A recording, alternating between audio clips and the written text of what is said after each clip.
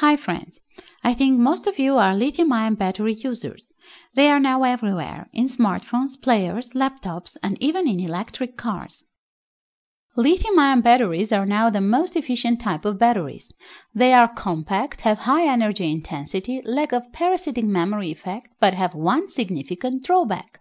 The fact is that their operation and the process of charging should be carefully monitored. If the battery discharges below a certain limit, there is a high probability that it will fail. The same is in the case of overcharging. The voltage of a fully charged lithium-ion battery is 4.2 volts. Recharging can cause blistering and even explosion of the battery. Same will happen in the case of overload and short circuits, heating, the formation of gases, and eventually explosion of the battery. Some lithium-ion batteries are equipped with a safety valve that will not allow the battery to explode, but most of the powerful polymer batteries haven't such valves. It is clear that without an additional protection system, lithium-ion batteries must not be used. You have probably noticed small boards in mobile phone batteries. That's protection board. It protects from a deep discharge, from overcharging, and from short circuits or overcurrent. On the board you can clearly see a couple of chips, resistors, and capacitors.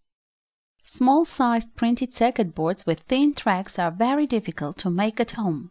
But this job can be entrusted to special factories for the manufacture of PCBs. One of the leaders in this area is JLCPCB. On the site, you just need to download the archive of your board. If needed, you can choose any additional options. And that's all. By the way, the price starts from $2 for 10 pieces, and there is a free delivery for the first order. The link to the JLCPCB will be found in the description. In front of you now is the circuit of this protection. The base is the microcircuit DW01. It monitors all processes. The second chip is an assembly of two field effect transistors.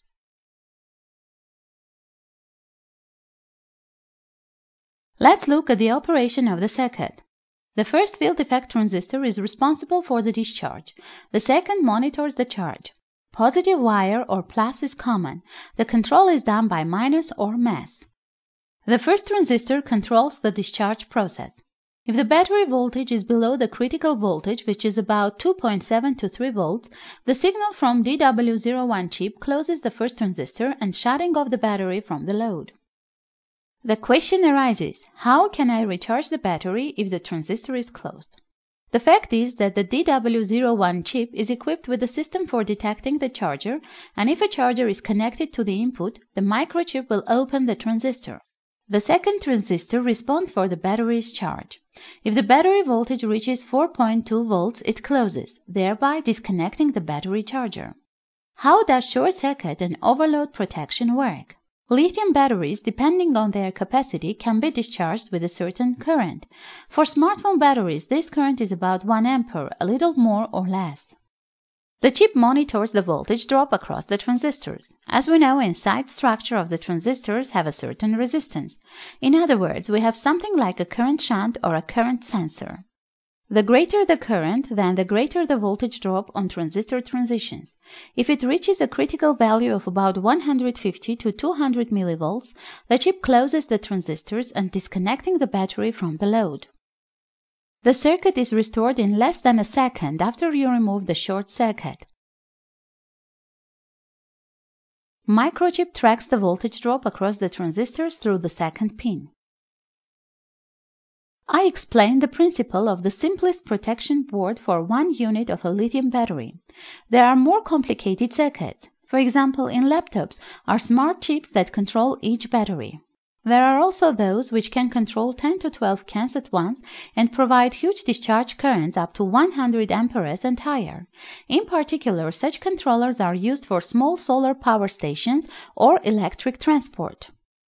Depending on the battery capacity, these controllers can be radically different in appearance, short circuit current, and circuit topology, but they always have the same function to protect the battery from overcharging, deep discharge, and overcurrent. Many controllers also provide thermal protection or protection against overheating of the can. The temperature is controlled by a temperature sensor. There are boards that are able to balance the voltage of the cans, thereby providing a uniform charge. Links to a variety of protection boards can be found in the description under the video. If the video was useful, please rate it and share it with your friends. Don't forget to subscribe to my group in Facebook. The link is under the description. Now I say goodbye until new meetings. With you was Aka Kasyan.